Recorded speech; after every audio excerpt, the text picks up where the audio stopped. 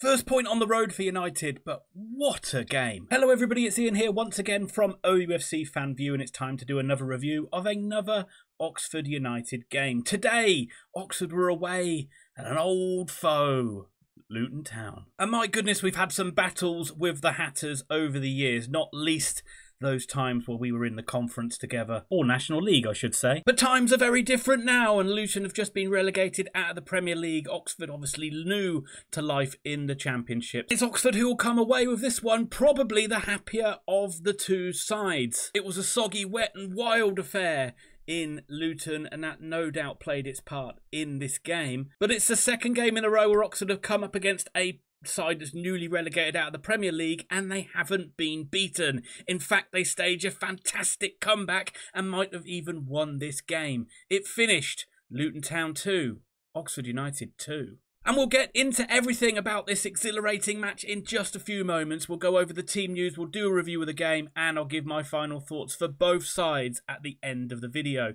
You can jump to any point of the video if you like, just use the timestamps down below, that's absolutely fine. But if you can hit that like button, that does help me out a heck of a lot. And if you do like the content on the channel, then consider subscribing. So for Oxford United, the team news is that there was one change from that side that got that draw against Burnley. Owen Dale coming into the side on the right wing. A few eyebrows is raised on that one. It meant a switch for Tyler Goodrham, who goes over to the left, and it meant Siriki Dembele has to make do with a place on the bench. Greg Leigh was ill, so it meant Hidde Ter Avest also got a place on the bench for the first time. Could be the first time we see him when it didn't turn out to be that way. And there's also a place on the bench for the the lesser spotted Will Goodwin. Moving on to Luton Town then, it's been a struggle so far for Rob Edwards' Hatters. Defeat to Plymouth on Friday night left Luton in 19th place going into this one. But Luton will be talking about the players that they are missing. Tahith Chong, Mads Andersen, Carlton Morris to name but a few, and ex-Oxford's Shandon Baptiste. But there is still a lot of quality to show in this Luton Town side, not least from Alfie Doherty and from ex-Chelsea's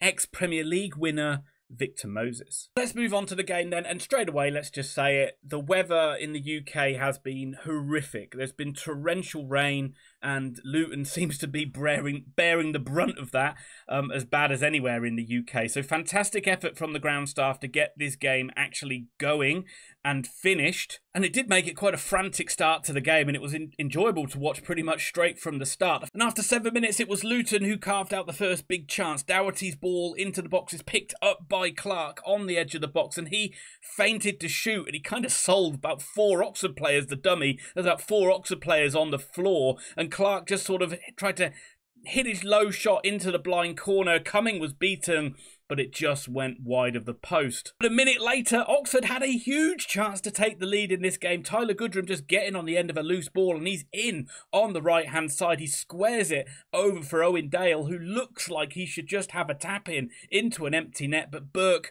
does superbly well for Luton to get back and clear the danger. But no two ways about this. Goodrham's ball should have been better, and Dale should be scoring. And two minutes later, Oxford were made to pay for that miss, and Clark this time did not miss for Luton and put the Hatters 1 0 up. Oxford pissing about with the ball on the edge of the box. El Mizouni playing a suicidal ball to Rodrigues, really, on the edge of the area. Clark just dispossesses him. He's in on goal and he slots it past Jamie Cumming. Nice finish from Clark, but seriously, between the two players, Rodrigues and El Mizouni, one of them should have just put their foot through it and cleared the danger. But El Mizouni and Rodrigues both had fine games, that mistake aside, and two minutes later, Uh, both of them nearly scored to get Oxford level. El Mizouni got space on the edge of the box. His shot took a wicked deflection, and Kaminski in the Luton goal made a, an unreal save, really, getting back to save it, to claw it away. But he could only claw it out to Rodrigues, and he looked like he just tucked it into the bottom corner. But Mengi had got around to clear the ball off the line.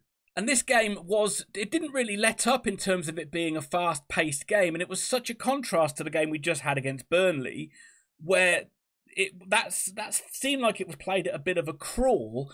Whereas this one was just fast paced, and already both sides had created more chances than, than probably we saw in that whole game. 25 minutes on the clock, another fine move by Oxford United saw Owen Dale free Peter Kioso on the overlap. PK got to the byline, cut the ball back to El Mizouni, and El Mizouni looked like he'd scored. It was a good shot, hit with plenty of pace. It looked like it was just going to nestle into the top corner, but it whistled wide of the post, and that was a big chance for Oxford United. On 33 minutes, it was Rodrigues again who was dispossessed on the halfway line, and Adebayo got in on goal on the left hand side, and his low shot was just wide of the goal. But that was just a few minutes before more miserable defending for Oxford United made it 2 0 to Luton. It was just a long crossfield ball which created uncertainty between Jamie Cumming and Elliott Moore. I think it just sort of bounced right out just outside the penalty area, which meant Cumming was just uncertain of whether he could come and claim it.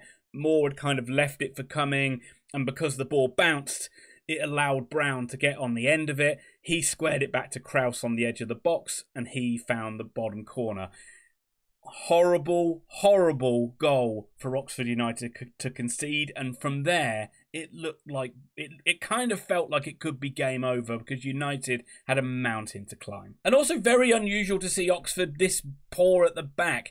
Yes, we've conceded some goals in away games, but generally they've come from good play from the opposition. We haven't been this sort of clumsy and sloppy in defence in terms of gifting away chances. Uh, Will Vaulks against Coventry aside, um, and and you probably just have to put that down to the weather. But I shouldn't doubt this Oxford United side. I should not doubt this Des Buckingham team because on 44 minutes just before half time, Oxford got back into the game, and it was a wonderful goal. After an excellent spell of Oxford United possession, El Mizouni ended up playing a blind pass to Tyler Goodrham on the left wing, and his first time effort coming in off the left wing is beautifully curled beyond Kaminski and into the back of the net. It is another one for the Tyler Goodrham highlight reel, but it really was a fine team move where Oxford kept possession and looked dangerous for a couple of minutes in the build up to that goal. And really, I would say Oxford did deserve a goal in this game, and it was a crucial time to get it. So take a breath, everybody, because that's 2 1 at half time. And I'm not sure if it was just down to weather conditions, but it felt a very different half of football from anything I've seen so far in the Championship. Neither side is overplaying it, neither side is like just messing around with the ball. They're just trying to get it forward quickly and create chances. And it's making it quite a very entertaining game. Oxford gifted Luton two goals. They took them well, but they really did gift the Hatters those two goals. But an excellent Tyler Goodrham strike has got us back into it. But Luton still do look dangerous dangerous. Adebayo up top might not have that cutting edge, but he's a handful for the centre backs, and Clark and Brown are certainly looking dangerous in behind him. Menge at the back, um, or Mengi, sorry, at the back for Luton has also been fantastic. But I do feel for the most part that Oxford have matched Luton pretty well, and I do feel like it's anyone's game in the second half. Des Buckingham made a half-time change and it proved to be key. Kyle Edwards coming on for Owen Dale. Luton with the first chance of the second half. Doherty, who is lethal from these dead ball situations, puts in another delightful cross. It looks like it's on a plate for Adebayo, but I think Nelson just got in there to deny him. It wasn't given as a corner, but I do think Nelson did really well to just either put Adebayo off or to just get something on it to put it behind. And it was crucial because just six minutes after that, Oxford were level. We saw a teaser of this just a few moments before where Kyle Edwards got a ball into Ruben Rodrigues, but this time they made it count. Edwards got into space down the right hand side, he smashed a low ball into Rodrigues, who arrived bang on time to flick it home, and the U's have squared it up. And for the next 10 15 minutes, Oxford were well on top of this game, and the Luton fans were getting extremely restless. The only real uh, shot or real kind of chance that Luton had was from Victor Moses, who didn't really do much in the game, and this was probably where he was at his most dangerous. He got on the ball and he beat Ciaron Brown probably two or three times before his shot was deflected behind. But then Oxford had some great chances to take the lead in this one. First one was a big shout for a penalty. Tyler Goodrham looked like he'd got to the ball before the Luton defender. The referee put the whistle to his lips, but then he decided, nah, there's not enough in it.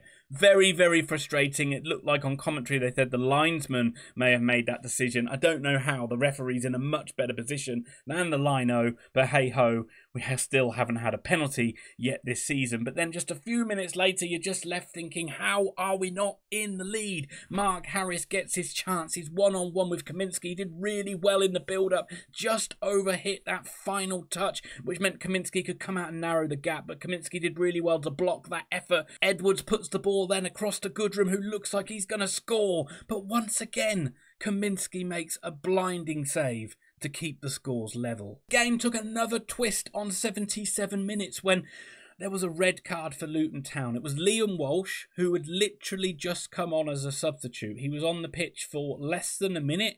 He lunged into Siriki Dembele, who was also on for a sub for Oxford United, and the ref sent him off. It, looking at it, it's a really silly lunge to do uh, in just the middle of the park. Dembele wasn't like in on goal or anything. It was a silly, bordering on dangerous lunge. I thought it was a red card, but if you're a Luton fan watching this, I'd be really interested to know your thoughts on that one. And in my mind, I was thinking, come on, Oxford, go for it now against 10 men, final 15, 20 minutes of the game. But really, Oxford couldn't really create any chances when, when they were playing against 10 men. And to be fair to Luton, they created the better chances and looked more threatening. They had a string of corners on about 85 minutes, the third of which Doherty puts it onto the head of Mengi. It looked like it was going in, but Jamie Cumming produced one of those Jamie Cumming Superman moments and kept the game level. Yeah, it seemed like both sides were quite happy with the point in the end. Annoyingly for Oxford United, Elliott Moore went off injured. There was a free kick right at the end of the game where Dembele could have won it for Oxford United, but instead of just drilling the ball in, he just floated the ball over the bar, which was a little bit frustrated. But all in all, Oxford get their first point away from home in this championship season. 2 2 draw before the game, you certainly would have taken it. And that brings me on to my final thoughts, really. And I'll start with the home side in Luton Town. And if you're a Luton fan watching this, I'd really would like your honest thoughts on this game and on your side as well, and whether you just thought maybe it was a case of the conditions making it quite a level playing field. Because that was the biggest takeaway from me is playing the two two of the three relegated sides back to back. We saw a Burnley side who at times Oxford couldn't get near. They did look a class above us, but I never felt Luton looked a class above Oxford United today, which is maybe a good statement for us, maybe a bit of a damning statement for you. So I'm just curious of where you think you are with this Rob Edwards size. I know you've got some key players out injured, but surely you would have been looking at this one as a home game against Oxford United, as a game where you really would have dominated it, took the game to Oxford, and Oxford maybe would have been hanging on, lucky to get something out of it. But I don't necessarily think that was the case. I, I do think you've got a little bit of a lack of cutting edge up top with Adebayo. He's a good, strong unit. Doesn't look like he's got a lot of goals in him. And maybe you're just missing a little bit of pace on the flanks as well. Maybe Moses can't provide that threat. He's a skillful player, but maybe isn't as quick as he used to be. So maybe that's what's missing from your side. But you certainly got a lot of quality technical players like in Doherty, Krauss, uh, Clark and Brown. At this early stage of the season, and it is still early, I would just like to know: Do you feel that you're got the ability to go still be challenging at the top end of the season, or is this going to be a season where you just kind of consolidate and then try and go again next season? But all in all, a cracking game of football, and Luton certainly played more than their part in this one. It will be a feisty atmosphere, no doubt, when you come to the Kassam later on in the season, and genuinely good luck for the rest of the season. And that brings me on to Oxford United, and once again, this Des Buckingham side, my goodness, I should never doubt them, really, should I? They've showed so much heart, so much character, so much resiliency to get back into this game. We saw a different side a string in our bow against Burnley, where we put our bodies on the line and defended that nil-nil draw. Today, we made mistakes, but we didn't let those mistakes cost us. We kept going, we kept playing our football, and I think we got just reward in the end, and maybe we could have even gone on to win this game. I thought it was an excellent game of football. Um, be interested to know, Oxford fans, what you thought about Owen Dale starting. Um, I don't think he was great in the game. I thought he did a couple of decent things. I think he linked up quite well with Peter Kioso. Peter Kioso, by the way, another extremely a fantastic game at the back for him. But Kyle Edwards, that substitution was made at exactly the right time and he made a massive difference when he came on. Maybe Edwards isn't quite fit enough to start, so maybe you could only give him half a game. Maybe he wanted Goodrham on the left because Goodrham certainly did look lively on the left hand side.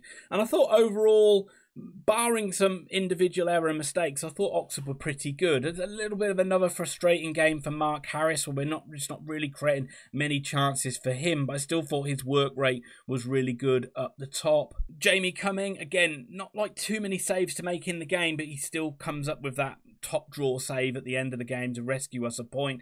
And overall, I just think we can be really satisfied from what we've seen. Very, very worried to see Elliott Moore hobble off at the end of the game, be replaced by Long. We've seen this before, and I wouldn't be surprised if that's Elliott Moore out for the Pompey game now, and you probably won't see him hopefully if we're lucky when we come back from the international break. But I think that's a big blow for that Portsmouth game. But I think this side should be really confident going into that Portsmouth game. I think this is the first time I've seen Oxford side be more than a match for their championship counterpart on the road. I felt the games against Coventry and against Bristol City, we were having to dig in for quite large, peri- large periods. But today, I thought we looked pretty strong right the way through the side and the midfield with the likes of Rodrigues and Vaulks and El Mizouni looked pretty calm, looked pretty composed on the ball, and I thought we created some some darn good chances in this game. So overall, very happy excellent game of football and an excellent point on the road. And in the back of my mind, I'm thinking, oh, maybe we could have got three out of this one. But I'd like to know your thoughts, Oxford United fans. At least we've got that monkey off our back now of losing every away game. We've put that run to bed. And that's going to be a cracking game at the weekend at Portsmouth. I'll be back to do a review of that Portsmouth game, but before that, I will do a, a, a, silly little predictions video like I've been doing. So please continue to support those videos. Please continue to support those video, th this video, um, and as always, I really appreciate your comments and I really appreciate any support that you can give to this channel. So thank you very much. Come on, you yellows, and we'll be. I'll be back very soon.